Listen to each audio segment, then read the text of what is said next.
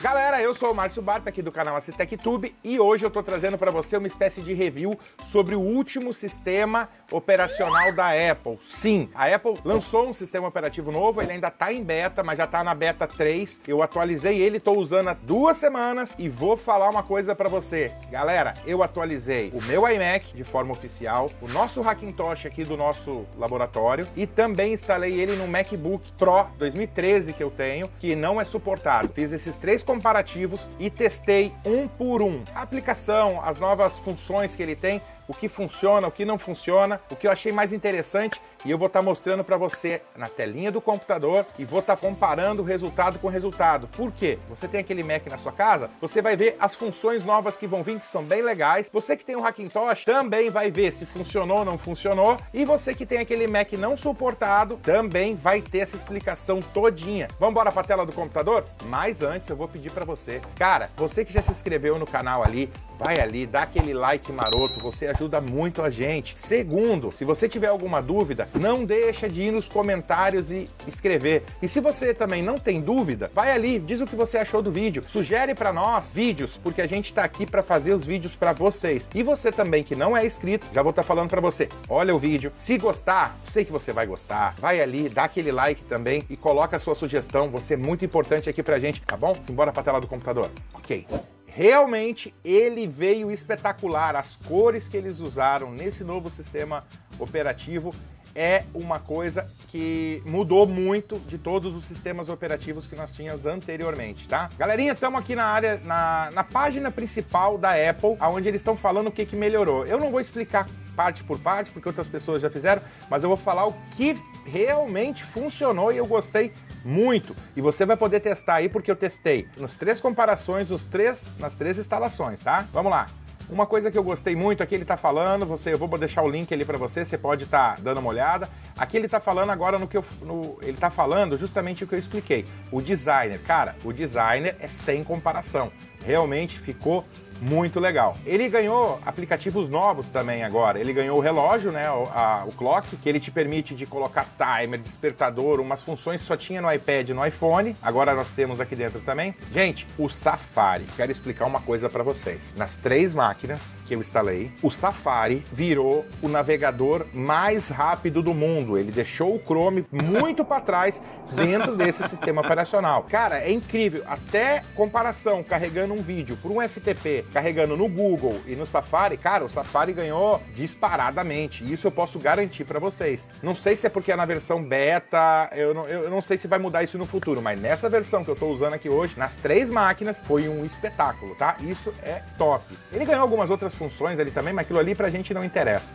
Vamos ver, mensagens, ganhou mensagens, mensagens, isso ali não, eu quero mostrar uma função top aqui para vocês. Fotografias teve a atualização também. Deixa eu ver, essa função, galera, essa função aqui, olha, cara, eu vou mostrar agora aqui na prática essa função e você, eu tenho certeza que você vai se amarrar nela também. Olha só, eu vou abrir, eu vou abrir o Safari, vou abrir o bloco de notas e vou abrir o FaceTime, tá?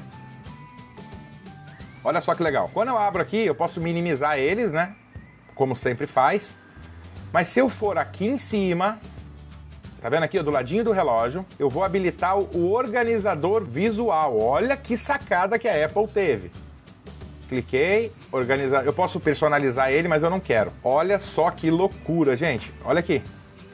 Todos os aplicativos que eu abro, olha lá, e vou voltar para o Safari.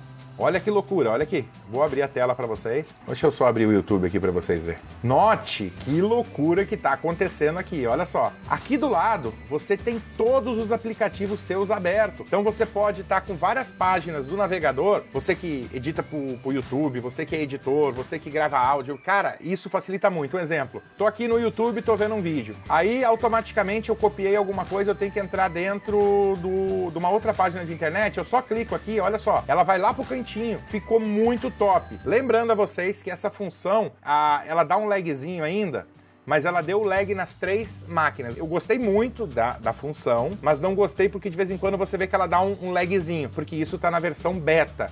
Então eu acredito que eles vão arrumar isso.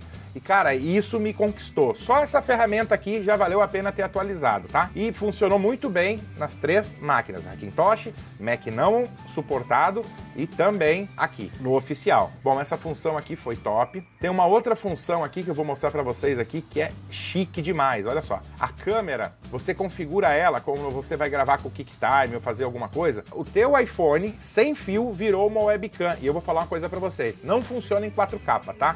Esquece. Mas em Full HD ficou perfeito, sem lag nenhum, nenhum, nenhum, nenhum, nenhum. Infelizmente, essa função eu não pude testar no Hackintosh, porque o meu Bluetooth não estava funcionando e o Wi-Fi. Eu, eu, nem fui avante. E no Mac 2014 funcionou, 2013, desculpa, ele funcionou bem. E no, no iMac aqui funcionou, que é uma maravilha, tá? Essa função aqui é uma outra função que pode ser muito útil para vocês. De todas as funções, as que eu gostei mais, eu não vou mentir para vocês, são essas aqui. Na parte de elementos gráficos, na parte de jogos, eu chamei um amigo meu, que ele é especialista nisso, a gente colocou o HD com o Ventura. A mesma máquina, com a mesma marca de HD, com tudo, a máquina carregou muito mais rápido e fluiu muito melhor. Dava para ver o jogo assim funcionando muito fluido. E isso é legal de fazer os comparativos. Isso vale a pena. Que agora chegou na cereja do bolo que eu queria falar com vocês. O que, que aconteceu com o sistema operativo da Apple. Antigamente, quando nós vínhamos aqui no sobre o Mac, olha só que legal. Aqui vocês podem ver que eu estou usando um iMac de 21 polegadas, Core 7, tal, tal,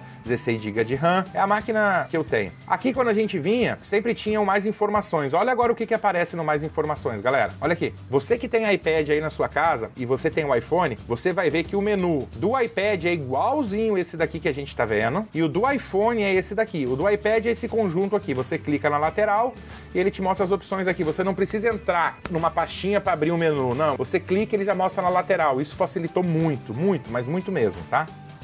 E eu, foi uma coisa que eu gostei muito. Tá tudo mais acessível aqui, tá muito mais clean. E isso foi uma coisa que a Apple acertou em cheio. Ele ganhou algumas funções aqui novas na parte de economia de energia, mas isso eu testei e vou falar uma coisa para vocês. Nas três máquinas não mudou nada. Inclusive, tem um bugzinho aqui que se ele entrar no modo hibernar, aconteceu de não voltar no Hackintosh, aconteceu de não voltar na máquina não suportada. Eu achei que era um defeito de incompatibilidade no Mac de 2014, mas não. Ele aconteceu também comigo aqui no Mac oficial. Então isso é uma coisa da gente ter em controle. Mas isso aí eles vão arrumar, né? Porque agora tá na versão beta, né? Então digamos que as três máquinas foram aprovadas, as três máquinas suportam o sistema operacional. Claro que para aquelas não suportadas, você vai ter que usar o sistema OpenCore Legacy Patcher, né? Ele também serve para instalar outras versões. Inclusive aqui no canal eu vou deixar aqui na descrição o vídeo que ensina você a fazer o pendrive do Monte Rei. Lembra você que ele também serve para você fazer o pendrive de instalação do Ventura. Você quiser fazer o teste aí no seu Mac, oficial ou não oficial, e também fazer no seu Hackintosh, eu recomendo muito. Vou deixar aqui o link para você tá vendo como é que faz o pendrive. E galera, eu vou pedir para você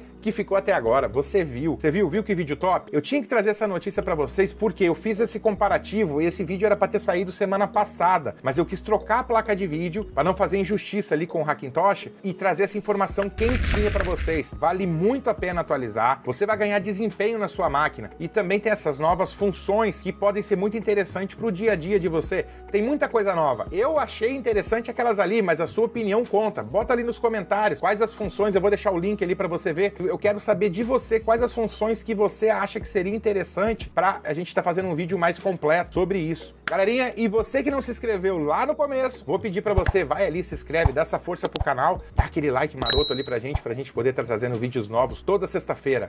Tchau, tchau, a gente se vê nos vídeos aqui da playlist.